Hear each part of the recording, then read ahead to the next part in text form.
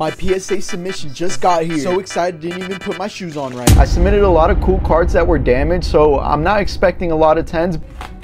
Let's just take them all out. The total value of all these cards put together is 6,515. I submitted 71 cards to PSA and it cost $1,119 with 50 cents. We ended up getting 29 PSA 9s and 24 PSA 10s. It was definitely a successful submission. For my next submission, I'm only going to shoot for 10s. This submission, I sent a bunch of raw cards I had in my collection that I thought were really cool. Didn't really care what grade they got. I just knew it would be faster to sell if they were graded. I don't recommend anyone doing that. It was kind of a gamble, but it honestly paid off. I must have inspected the cards in the past or something. All these slabs will be sold on rogerrips.com.